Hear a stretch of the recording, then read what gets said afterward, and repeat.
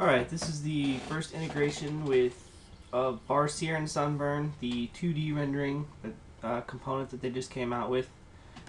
Um, uh, these tiles are fully physical.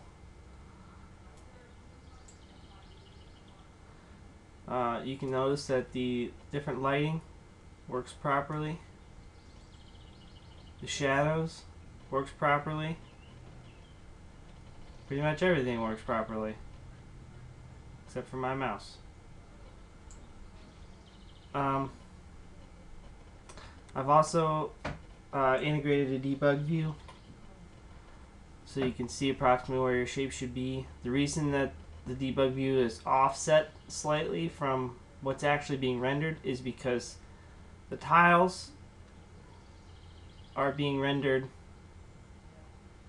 uh, I, believe it's like close to 1 on the z-axis while the debug view is being rendered at 0 on the z-axis and this is a 3D view so that you can get the nice shadows and and everything has depth but yet you're looking at it flat straight down.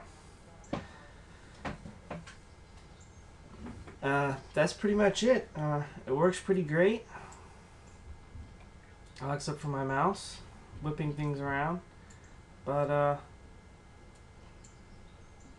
definitely great way to add shadows dynamic lighting everything to your uh, game with very minimal uh, impact on uh, how you would go about rendering in Farseer.